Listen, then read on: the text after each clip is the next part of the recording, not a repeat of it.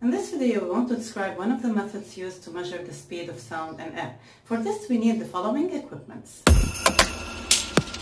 First, we need a function generator. The function generator can produce different types and frequencies of electric signals. In this method, we will use a generator that produces a sinusoidal signal. We also need a loudspeaker. The loudspeaker converts the electric signal into sound waves. We need two microphones. The microphones are the device that converts sound wave into an electric signal that we can study. The oscilloscope is a device used to measure and display the voltage of an electric signal. For displaying the voltage, the oscilloscope has a screen. It also has two entries, channel 1 and channel 2, for measuring two voltages at the same time. You can see each voltage alone, or you can see them together in the same screen in order to compare between them, like we will do in this method. We begin this method by connecting the loudspeaker to the function generator.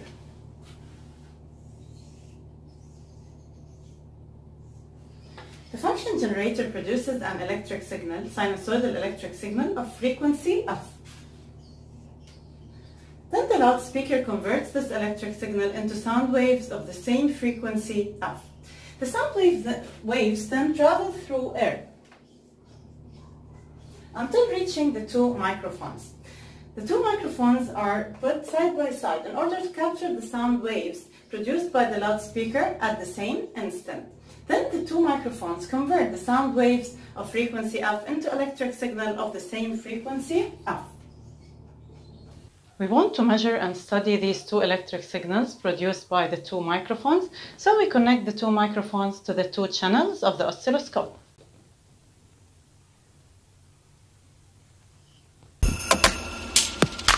We observe that the two signals are confounded. Why is that? Because the two microphones are at the same distance from the loudspeaker. It means that they capture the sound wave at the same instant, so the two waveforms are confounded.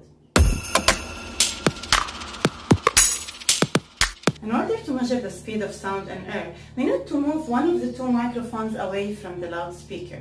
Before moving the microphone, let's call this microphone M1 and this microphone M2. Before moving the microphone M2 away from the loudspeaker, the two waveforms are confounded. It means that they are above each other and they are also in phase. It means that they reach their highest point and lowest point at the same instant. As we remove the microphone M2 away from the loudspeaker, we will observe two things on the screen of the oscilloscope. First, as we move this microphone, the two waveforms are no more confounded, okay, and they are not in phase. We will continue moving the microphone until they become in phase again for the first time. Not only this, but also, as we move the microphone M2, we will observe another thing on the screen of the oscilloscope. The electric signal of the uh, microphone M2 will decrease in amplitude because the microphone M2 is now further away from the loudspeaker, so the intensity of the sound wave decreases.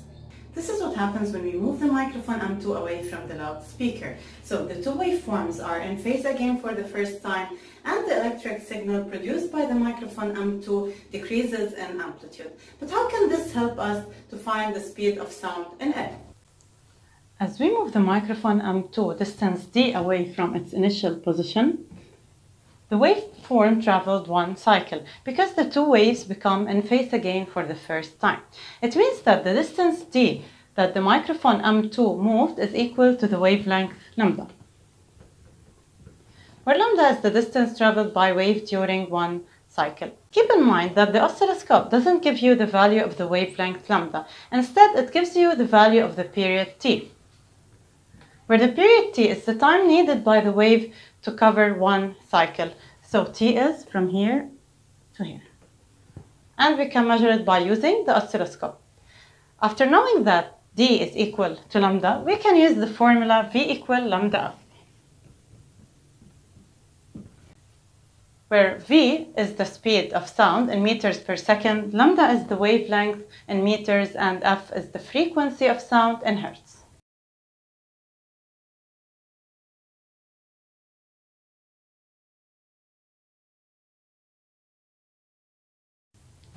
We can find the frequency either from the function generator or we can calculate the period t as we said from the oscilloscope and then use the formula f equal 1 over t to find the frequency of sound.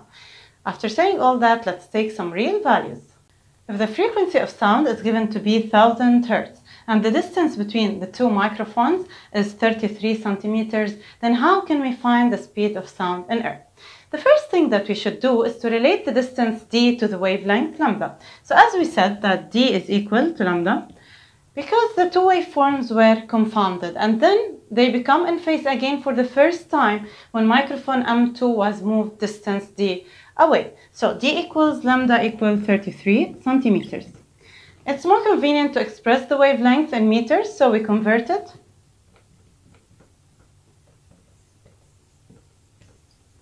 Now we use the formula V equal lambda f.